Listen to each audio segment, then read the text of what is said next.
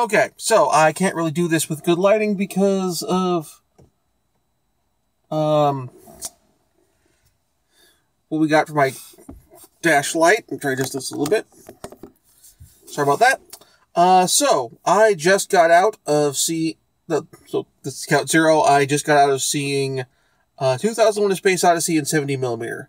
I apologize once again for the poor lighting because I'm using my car's dash light. I'm trying to do the uh, Brad Jones thing, and first time we'll try doing it in the middle of the night, and it doesn't work that hot. Apologize for that. We'll give this a shot anyway. This is my first time seeing 2001: A Space Odyssey in 70 millimeter. I've seen the film before, um, but mainly on DVD, on Blu-ray, on television, and that sort of thing. And silly, silly with the lighting, and I apologize for this basically being the Todd in the Shadows style of review, but no, or, or deep, th- deep throat's the wrong phrasing. But in, anyway, first time seeing uh, 2001: A Space Odyssey in 70 millimeter. It is a really fun, interesting film. I will fun in the sense of there's a lot to dig into. It's there's lots of detailed little things to see um, when you've when you've watched this a bunch of times, which I have. I'm not going to do a big blow by blow plot synopsis thing. I'm not going to do a big in depth analysis thing for this kind of critique because partially because I've got to deal with battery and that sort of thing. Also because, well, 2001 The Space Odyssey one of those films that people have written essays about. Like big, long, elaborate film essays. And like for like or for like, like books, just books about. So I don't think I can encapsulate that in this in this video. Instead, I'm going to talk about more about the experience about seeing the film in 70 millimeter. There's a lot of having seen this movie a bunch of times again on TV. There's a lot of details that I, as a viewer, have missed when I was watching the film previously that I'm seeing here now because there it's in the big screen, everything's bigger, and thus things which are very small and hard to catch on a television screen, on a smaller screen, are writ much larger and easier to notice. As give you a couple examples, there's a bit in the film where um, this like early on when Heywood Floyd goes to the Clavius base to give his brief to do um receive the briefing and see uh, the Tycho monolith for himself. And before when he goes up to give his explanation, he walks by this one scientist and gives him a quick grab on the shoulder, um, either as hello or reassurance or that sort of thing. And it's it's a little note little character note. We have no dialogue between these two characters, I think, for the rest of the film. But it's just a little bit of like, hey, Floyd knows these guys. He, he is familiar with these guys. It gives a sense, gives more of a sense of sincerity to the words he's about to say when he gives his big spiel and about him not liking the cover story and that sort of thing than if he didn't do that thing. It, it's builds shows there's a sense of empathy and sim- an actual sincere empathy and sympathy between uh, Floyd and the researchers. Other little bits, similar bits like that come up off and on throughout the film. Uh, way shots are framed with particular things in foreground or background. Uh, like before Hal kills the scientist in cryostasis. Spoilers for a freaking 50 year old movie. Um, when Hal kills a scientist in cryosleep, he, we, the, before we get that shot, we have a, where that starts, we have a shot from Hal's point of view of the chairs that we normally see Dave and, uh, Frank sitting in, Dave Bowman and Frank Poole, when they're talking to Hal. They're now vacant because Frank has been killed and Dave is outside of the ship, leaving, giving Hal with the complete total run of the place, allowing him to get away with, with his murder, his murders. Additionally, when you're seeing the movie on the big screen, at the big screen sound system, there are sound effects in the film that I've overlooked completely before that are significant here. There's this sort of res- resonating hum that comes up when connection with the monolith, particularly whenever anyone is about to touch it. Or when anyone does touch it, like when Heywood Floyd touches the monolith uh, in the uh, Tycho crater. And it also came up earlier in the film with the, uh, the Dawn of Man sequence. And when we get the piercing shriek when the monolith sends its signal out to Jupiter, it has a lot more weight and power to it. I remember when I was in the theater, I was seeing lots of people actually grabbing their ears, like the scientists and people in the film were, and similar sorts of things. With, and this also ups the impact of when the scientists in cryostasis are killed.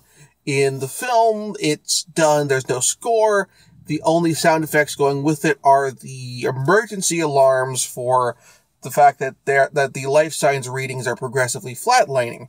And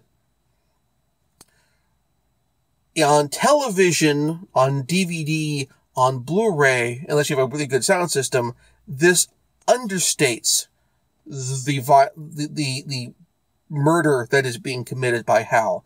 It underplays it it seems on deliberately to how this these crime, the, the, these killings are being done by Hal in what is effectively compl- in not quite silence, but in a quiet, subdued manner. It's a horrible act being done coldly and dispassionately.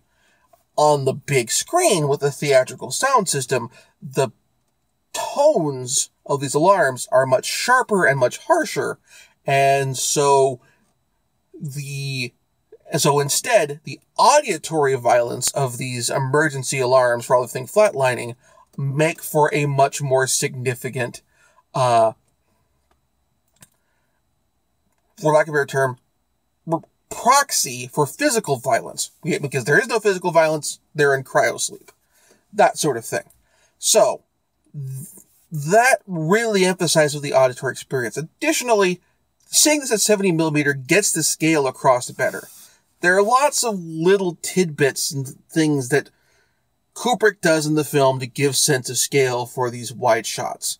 Uh, when we go down, when the shuttle pod thing, I forget what the name of that particular vehicle is, comes in to the Clavius base and is lowered down to the tune of the Blue Danube, we have these little rear projected bits from offices and control areas overlooking this central shaft that give the sense of scale to how big this is. And it definitely gives me, like, I've been watching, I, if you follow my blog, you follow my YouTube channel, I watch anime.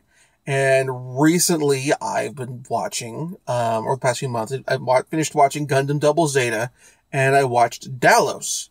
And this really gives me a kind of cue, seeing this after having, or rewatching 2001, after seeing this other anime, gives me kind of cue of how influential this film has been, not just in terms of direct references to elements of the plot or narrative or that sort of thing, but in terms of visual style and in terms of like technical con- concepts. Dallos is very much a film which takes 2001: A Space Odyssey and Arth- and um, Robert Heinlein's The Moon is a Harsh Mistress and mixes them together. It doesn't finish either story, unfortunately, but it mashes those stories together in an interesting manner. As an aside, more Oshii, if you're watching this, I doubt you are, but if you are, Dallos Part 2, please? Second, um, the same sort of thing with, with uh, Gundam and the moon outposts there, which have a similar vast scope to them. The same way that the Clavius base, we don't see the vast scope of the base as a whole, but we it comes across through like bits with the uh, landing shaft and that sort of thing. So, and all this comes across much better in 70 millimeter on a large format screen, a large screen, than on your however big your TV is at home. So, that out of the way, do I recommend seeing 2001 A Space Odyssey if you have a chance to see it in 70 millimeter? Absolutely. I'd love to even see it in Cinerama with all three screens, but I don't know if I'll ever get a chance to see that. There aren't many Cinerama theaters still around these days.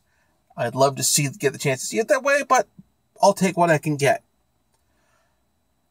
The Hollywood Theater does a screening of 2001: A Space Odyssey in 70 millimeter once a year. I don't. If, I'm not. Don't know if I'd go again next year. At least not by myself. I probably want to go see it with someone else who hadn't seen it in 70 millimeter before.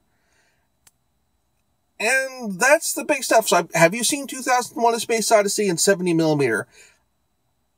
Um, are there any movies that you've seen in 70 millimeter that you think gained a great deal from seeing it in the larger screen on a larger detailed film stock? Um, one other bit with this is I had the good fortune with the screening that the print that they're doing is relatively new. Uh, Paul Allen had commissioned a fresh print of 70 millimeter print of 2001 from the original master. And that print is what was used for this screening, which gave me an opportunity that a lot of people might not have. So that was particularly awesome as well. Anyway, if you have a chance to see the film in 70 millimeter, definitely uh, take advantage of it. If you have had the chance to see 2001 70 millimeter, please give your thoughts in the uh, comments below. Similarly, if there's a film that you have seen in 70 millimeter and that you think really benefits from seeing in that form, once again, post that as well. I've had the opportunity to see Tron and Ghostbusters in 70 millimeter as well, the original Ghostbusters, both of whom, both, of which were particularly good, especially Tron. So, once again, thank you very much for watching. Um, will be the usual stinger at the end. Um, see you next time.